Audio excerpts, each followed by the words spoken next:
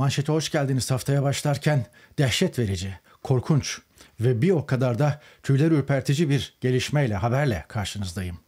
Evet yanlış okumuyorsunuz ve bu seyirci toplamak için falan atılmış bir başlık da değil, bir komplo teorisi de değil.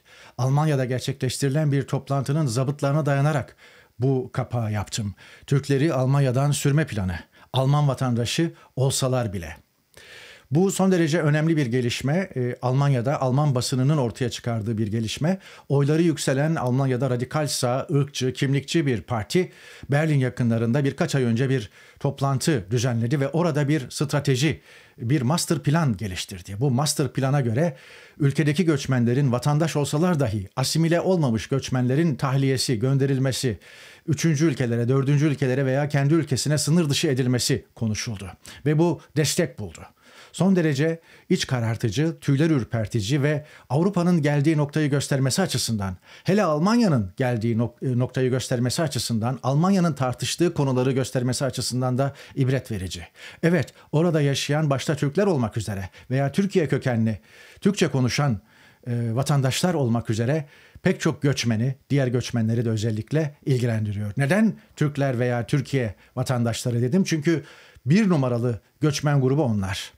3 e, milyonun üzerinde Türkiye kökenli insan, e, Türkiye'den gelmiş insan veya ikinci nesil, üçüncü nesil Almanya'da yaşam sürüyor ve ağırlıklı olarak açık ara bir numaralı göçmen grubu onlar. Elbette başka ülkelerin, başka ülkelerden gelen göçmenler de var. Onlar da bu topa giriyorlar. Anketlerde oyu %23'ü bulan bir parti AFD, Almanya için Alternatif Partisi. Bu partinin göçmenleri sınır dışı etme planı ifşa oldu geçtiğimiz hafta. 10 Ocak yanılmıyorsam hafta ortasında. Bağımsız Medya ve Araştırma Kuruluşu Corrective yayınladığı planı oturma hakkı veya vatandaşlık almış milyonlarca yabancının kademeli olarak sınır, sınır dışı edilmesi öngörülüyor bu stratejik master plana göre. Ülkeden gönüllü olarak ayrılmaları ya da ayrılmaya zorlanmaları öngörülüyor. Değilse de şartları zorlaştırarak yani çifte vatandaşlıkları olanların Alman vatandaşlıkları e, iptal edilerek ya da e, göç geçmişi insan olan insanlar üzerinde yüksek bir uyum baskısı yaratma, yaratmak için özel yasalar çıkarılarak mesela dil barajı getirilerek veya bir gelir barajı konularak falan yıldırma, yıpratma ardından da ülkeyi terk etmelerinin sağlanması değilse zorla sınır dışı edilmesi meselesi. Son derece dehşet verici, korkunç bir plan. Göçmen karşıtı, kimlikçi, ırkçı bir parti. Ee, Almanya için Alternatif Partisi AFD e, toplu sınır dışı edilmeye dönük bu master planı görüşmek üzere Berlin yakınlarında e, bir araya geliyorlar. Toplantıya e, parti lideri Alice Weidel'ın özel kalemi de e, katılıyor ve büyük gürültü kopardı. Birkaç gündür de Almanya'da bu konu konuşuluyor, tartışılıyor. Başbakan Olaf Scholz aşırı sağcı fanatiklere karşı sağ durmaya, du, durmaya çağırdı. Ee, karşı durmaya e, e, çağırdı Almanya halkını. Kökeni ten rengine bakmaksızın herkesi koruyoruz dedi. X platformundan paylaştığı mesajda tarihten ders çıkarmak sözde kalmaktan çok daha fazlasıdır. Demokratlar bir arada durmalı dedi. Evet, corrective mühim bir iş yaptı. Ee, sadece e, yani ve bağlı çalışan gönüllü gazeteciler, muhabirler değil, Greenpeace'ten ve farklı gazetecilik örgütlerinden veya gazeteci, gazetecilerden de destek aldı. Toplantı geçtiğimiz Kasım ayında Berlin yakınlarındaki Postum eteklerinde bir kır otelinde, e, göle bakan bir kır otelinde gerçekleştirildi. Postum'da ve AFD yetkilileri buraya e, Martin Zellner isimli Avusturyalı bir yazar, aktivisti davet ettiler ve kimlikçi hareketin ön, önemli figürlerinden biri bu isim ve çok kültürlü toplumlar fikrine açıkça muhalefet ediyor. Yani çok kültürlü toplum fikrine karşı. AFD diyor iktidara gelirse en büyük zorluk asimile olmamış Alman vatandaşları. Bunları zorla sınır dışı etme meselesi. Nasıl olacak bu? 2 milyon kişiye, sıkı durun, 2 milyon kişiye yer sağlayacak Kuzey, Kuzey Afrika'da bir ülkeye sınır dışı fik etme fikri gündeme geliyor. Bu 2 milyon kişinin ağırlıklı bir grubu Türkiye kökenli insanlar. Türkçe konuşan insanlar. Çifte vatandaşlar. Ve 2 milyon kişiye yer sağlayacak Kuzey Afrika ülkesi neresidir? O belirtilmemiş. Yani Fas'tan Mısır'a kadar herhangi bir ülke olabilir. Bu elbette e, e, kulağa tanıdık da geliyor. Yani İngiltere'de illegal. e, yollarla ülkeye giren e, yasa dışı göçmenlerin Ruanda'ya gönderilme planı vardı. Yüksek Mahkeme bunu iptal etti ama hükümet kararlılığından tutumundan vazgeçmiş değil. Fakat Almanya'da bu çok daha sert ve çok daha polisiye tedbirlerle, yasal tedbirlerle devreye sokulacak gibi görülüyor. Eğer AFD iktidara gelirse. AFD'nin federal meclis delegesi Gerrit Huyda e, toplantıya katılmış ve söylediği şey şu bu kadın parlamenterin veya kadın delegenin Diyor ki biz hükümetin çifte vatandaşlık yasağını kaldırma planına karşı çıkmadık.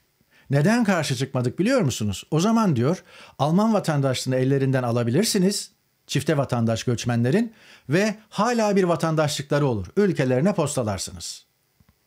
Orada da stratejik hareket ettiği görülüyor AFD'nin. Yani bir iyi niyet değil esasen çifte vatandaşlık e, yasasını kaldırma planına işte karşı çıkmamaları. Göç konusunda yükselen e, bir kamuoyu duyarlılığı var. Bunun elbette nedenleri var. Bunu anlıyorum da, anlamaya da çalışıyorum. Sadece Almanya değil, Avrupa'nın bütün ülkelerinde, İngiltere'de, e, Almanya'da, e, Amerika Birleşik Devletleri'nde de var. Var bu. Ve AFD bu rüzgar üzerinde veya bu dalgalar üzerinde yükseliyor. 3 yıl içinde bu 3'ü bu yıl içinde seçime gidecek 5 eyalette anketlerde ilk sırada yer alıyor. %30'a hatta birinci olduğu eyaletler var. Ancak e, Hristiyan Demokrat Birlik ve Hür Demokrat Parti şimdilik AFD ile koalisyona girmeyi reddediyorlar ama seçimden çıkacak sonuca bağlı bu konular.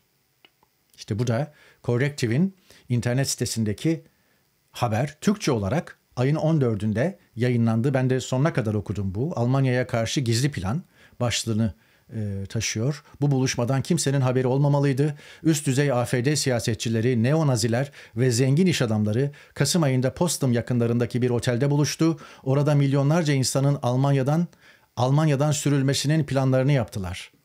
Burada Türkçe olarak da anlatıyor. Okuyabilirsiniz.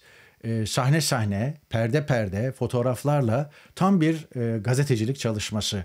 Otelin içine bir e, e, Otele rezervasyon yaptıran bir muhabir var. Otelin önünde arkasında gölde bekleyen e, kameralar var ve gün gün takip etmişler. İçerideki konuş içeriden elbette toplantıya katılan insanlardan rahatsız olanlar var gelişmelerden. Oradan sızan bilgiler var vesaire.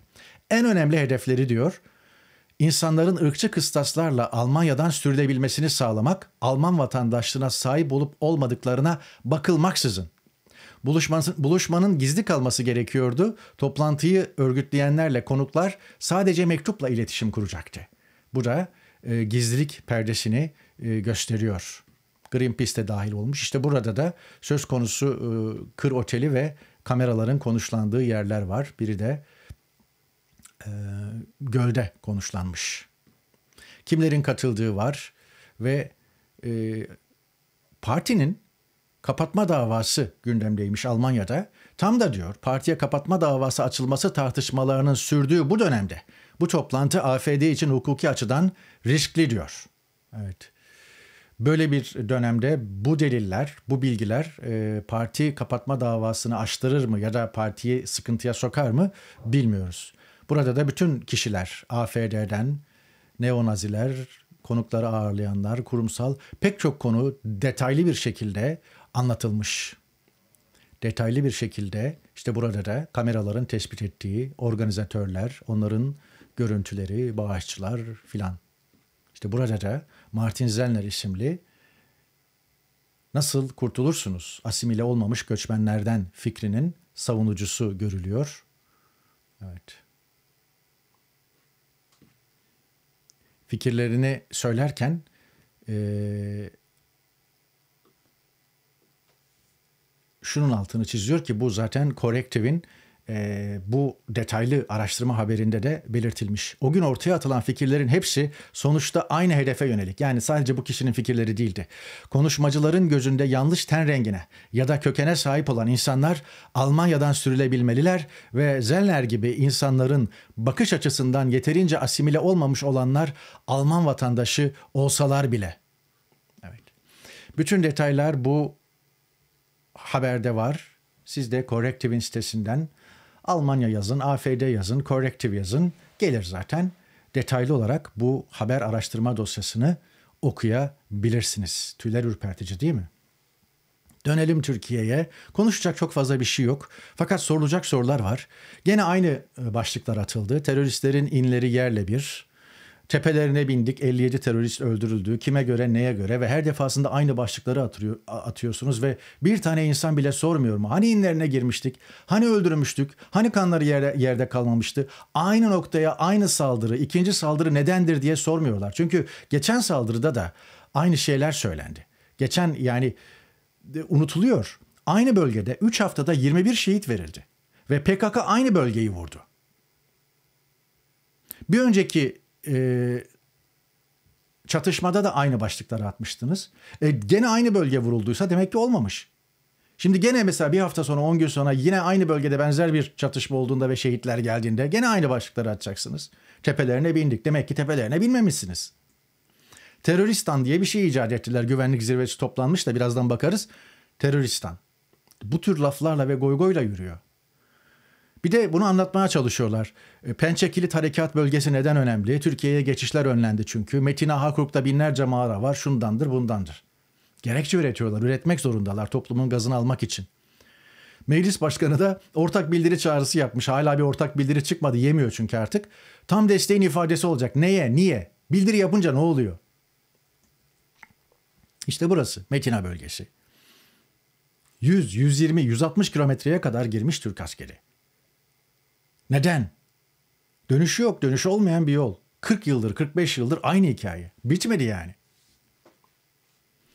40 yıl önce buna izin veren ve her geçen yıl bu hattı genişleten devlet diyor ki, laf benim, Türkiye güney sınırları boyunca bir teröristan kurulmasına izin vermeyecek. İşte bu da güvenlik zirvesi. 45 dakika sürmüş. Ya toplasan 7 tane 8 tane adam var orada. 45 dakikada ne yaptınız? Merhaba nasılsınız? Ne oldu? Ne bitti? Şu şey. Yani herkes üçer dakika konuşsa süre bitiyor. Ya, acayip bir şey. Ayrıca e, toplantıya Çağatay Kılıç da katılmış. Çağatay Kılıç kimmiş? İşte Erdoğan'ın eski çantacısı şimdi güvenlik danışmanı olmuş saraya. Bekri Mustafa fıkrası misal yani Türkiye'de işler ne durumda diye sorduğunuzda veya güvenlik ne durumda dur diye sorduğunuzda dersiniz ki Çağatay, Çağatay Kılıç e, sarayda güvenlik danışmanı. O arada Erdoğan Bahçeli'den sonra Meral Akşener'e de telefonla bilgi vermiş. Akşener hayırlı uğurlu olsun. Artık muhalefet değildir İyi Parti. Vurur yüzü ifadesi. Bunlar da yakın plan yüzler. Herkesin suratı sirke satıyor yeni bir hikaye bulmaları lazım. Bulamıyorlar. Yani hikayeyi birkaç hafta evvel tükettiler. Şimdi gene oradan yürümeye çalışıyorlar. Olmuyor yani. Çadırda yaşıyormuş şehit olan askerlerden birinin ailesi. Şimdi hemen onu evlendirirler. Ne bileyim başını sokacak bir yer verirler falan. Fakat bunun için bir kişinin oradan tabutla çıkması mı gerekiyordu? Haydar Ergülen paylaşmış. Sosyal ağlarda Yaşar Kemal'e atfen dolaşıyor bu uh, laf ama doğru değil. Bu şair Haydar Ergülen'in lafı. Dağlar, insanlar ve hatta ölüm bile yorulduysa şimdi en güzel şiir barıştır demiş. Dağlar, insanlar ve hatta ölüm bile yoruldu. Ölüm bile yoruldu. Çok güzel dizeler bunlar. Sahibi Haydar Ergülen'dir. Dönelim ülkedeki gündem maddelerinden biri Antalya-Trabzon maçında Antalya sporlu İsrailli oyuncunun işte gol sevinci. Burada işte bu yazdığı şeyde diyor ki işte 100 gün oldu 7 Ekim'den bu tarafa bir de işte Davut Yıldızı var vesaire. Hemen e, ne bileyim ilişkisi kesildi kulübüyle, e, gözaltına alındı, tutuksuz yargılanmak üzere serbest bırakılmış ve sınır, sınır dışı kararı çıkmış. Evet. Böyle bir ülke. İsrailli bakan bu futbolcuya destek verirken bu futbolcunun başına gelenler tipik bir Türkiye manzarası. Birazdan bakacağız. Bu futbolcuya destek verirken diyor ki attığı tweette en son satırında İsrailliler Türkiye'yi tatil destinasyonları listesinden çıkarmalı, Türkiye'den mal it, mal ithal etmemeli. Yani Türkiye ile ticareti keselim demiş İsrailli bakan. Tepki olarak. Türkiye kesmiyor, İsrail kesmeyi te- teklif ediyor. Düşün yani. Yani diyor ki ihtiyacımız yok Türkiye ile ticarete. Bunu söyleyen kabinenin bir üyesi İsrail'de. Nasıl e, olmasın ki duruma bakın. Türkiye'nin e, İsrail'den ithalatı Ekim'den bu tarafa yüzde 60 artmış. İşte bu rakam rakam. Yani geçen sene Ocak-Kasım döneminde Türkiye'nin ihracat ve ithalat rakamları. Ocak-Kasım döneminde 4 e, milyar 780 milyon dolarlık ihracat gerçekleşmiş İsrail'e. Yaklaşık 1,5 milyar dolarlık da ithalat söz konusu. Sonra işte futbolcu üzerinde tepiniliyor. O arada Lahi bizi durduramaz demiş, demiş İsrail Başbakanı. Tanımayız diyor. Oradan ne karar çıkarsa çıksın. İşler böyle bir noktaya geldi. Orada e, Amerikan Başkanı Joe Biden'la da kaç haftadır görüşmüyorlar falan diye haberler var. Yani şey koptu, diyalog koptu falan gibi haberler var. Yani Amerika İsrail'i durdurmak için herhangi bir şey yapmadı. Yani diyalog kopmuş olabilir veya böyle bir görüntü veriyor olabilirler ama bilakis Amerikan ve İngiliz uçakları gittiler. İsrail ticaretini baltalayan, İsrail'in deniz ticaretini baltalayan e, Yemenli Husiler üzerinden Yemen'de başkent Sana dahil pek çok şehri bombaladılar ve hala ikinci, üçüncü harekat gerçekleşti ve buna devam ediyorlar. Dolayısıyla arkadan da bir destek var İsrail'e. Değişik bir dünya, değişik bir döneme girdik gerçekten. 2024 bu tür çatışmalarla geçecek ve bu yıl Amerika'dan Rusya'ya, ne bileyim İngiltere'ye e, gerçekleşecek seçimlerden de bir umut çıkmayacak yani. 2025 ve 26 büyük çatışmalara gebe söyleyeyim şimdiden. Ya nasıl olmasın ki Guardian'dan kestim bugünkü dünyanın en zengin 5'i 2020'den bu tarafa servetlerini ikiye katlamışlar. Yine devamla en fakir yüzde 60 5 milyar insan işlerini ve paralarını kaybetmişler, gerilemişler. En fakir yüzde 60 gerilerken 5 milyar insan, en zengin 5 2020'den bu tarafa servetini katlamış. Batsın bu dünya diyorsunuz, duyar gibiyim ama ee, yani şimdi bunlara da sorsanız bilmem kaç kişiye istihdam sağlıyoruz, şöyle hayır faaliyetlerimiz var falan diyecekler ama mesele o değil yani. Orada 5 milyar insan var. Açlıkla mücadele eden. Yavaş yavaş toparlayalım. Bir iki maddemiz kaldı. Sondan ikincisi Ahmet Türk Mardin'e veda etmiş. Ön seçim yapılıyor DEM Parti'de ve ilk turunda %50 artı biri bulamadığı için birinci olmasına rağmen ilk tur e, yoklamada Ahmet Türk siyasete veda ediyor. Alkışlanacak bir karar. Bir ikinci haberde İYİP, yani biraz evvel Cumhurbaşkanı aramıştı terörle mücadele, teröristan konularında falan. İYİP artık tamamen iktidarın e, yanında hizalanmış durumda. Artık İYİP için veya İyi Parti için ne derseniz deyin Meral Akşener için bir muhalefet partisi veya bir muhalefet lideri falan denemez. Demeyin de ben demiyorum artık.